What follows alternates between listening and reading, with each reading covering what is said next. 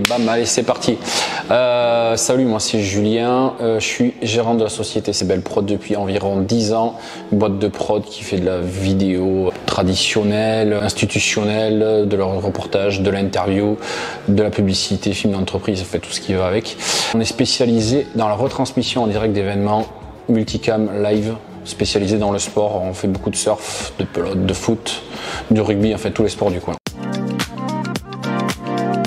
Euh, Conquistador, en fait, j'étais, euh, je gérais le studio photo vidéo du connecteur à l'époque avec ma société et du coup j'ai connu Camille euh, là-bas. Je le suivais sur les réseaux sociaux et à force de communiquer lui sur LinkedIn, ben, je me suis dit peut-être pas mal ce qu'il faut au Conquistador.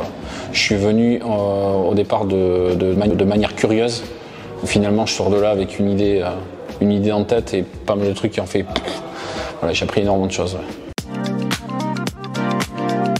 Ici chez Conquistador sur le bootcamp pendant 5 jours, m'est venue une idée grâce à l'équipe de Camille de créer une autre société qui va s'appeler Tadadam Dia Studio.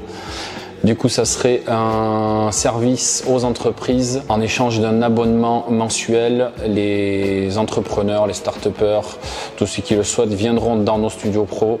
On leur fera du podcast, de la vidéo, de la photo. Ça durera 4 heures tous les deux mois.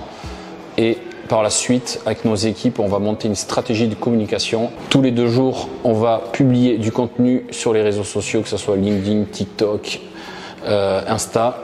Donc le but de Dia Studio, ça va être de propulser les talents, de propulser vos entreprises. Ne soyez plus ignorés, devenez incontournables.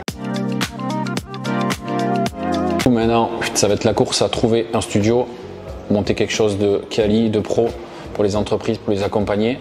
Ça, c'est dans un premier temps. Dans un deuxième temps, euh, j'aimerais monter des émissions, des podcasts en direct, des entrepreneurs locaux, des startups. Ah, grâce à cette semaine ici chez Conquistador, c'était en pleine ébullition. Du coup, les projets, ça va, ça va venir, ça va être crescendo. Et alors, ça, on va s'éclater. Euh, ce qui était chouette cette semaine, c'est qu'on était euh, cinq idées de startups qui étaient totalement différentes les unes des autres.